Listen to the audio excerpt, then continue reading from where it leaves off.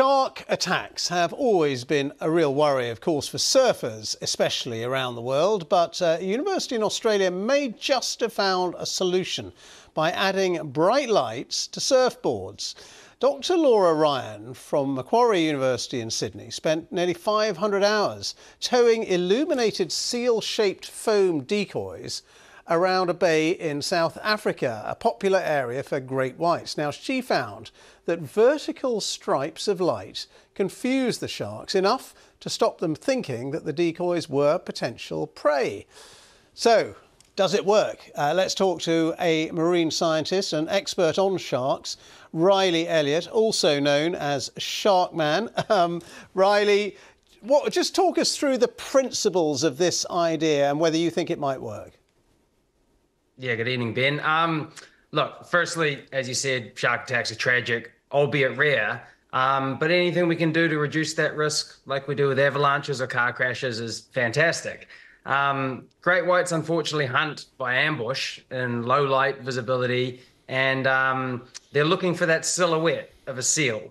And unfortunately, a surfboard from below can often be mistaken for that. So what these scientists are doing, and I commend them on it, is, is a difficult task, but uh, is they're trying to break up that silhouette or show the shark that it is not a natural seal silhouette by illuminating the bottom of it. Um, there's been a lot of attempts to do things like this, uh, you know, sea snake patterns, um, different kind of visual cues or colors but a silhouette by definition is going to block out any of that because the light is being silhouetted. So what they're trying to do here is you know create light under that board or that seal decoy to show that shark you know that's going to mm. come up like a missile uh, that this isn't its normal prey. And sharks are very cautious and calculated and will avoid something that isn't their natural prey because you, you, it's a bit counterintuitive, isn't it? Because you would think that putting lights on a surfboard would actually be attracting sharks' attention, um, but uh, it's kind of the opposite, really. Yeah, well, in nature, bioluminescence is used as an attractant and a deterrent. Um, the behavior of sharks, especially a great white, as mentioned before, is is they're like a mechanism. If A, B, C, D, and E all add up, they'll do F. You know, um, but if one of those things is not right, they are smart enough to avoid it.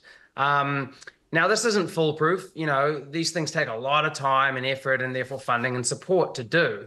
And um, towing seal decoys, I've done it in South Africa a lot. It is time consuming and you need large data sets for this stuff. But what should be commended is effort to reduce risk because look, you were talking about Ukraine before, thousands of people being killed. You know, sharks kill 10 people tragically on a global scale when billions of us go in the sea. But the shark is the animal that's copped the most, you know, bad rep of anything. And um, unfortunately, that's resulted in hundreds of millions a year getting killed. So anything we can do to reduce mm. human shark conflict is fantastic. I, I said at the beginning, you're known as Shark Man. Just tell us about your experiences with sharks.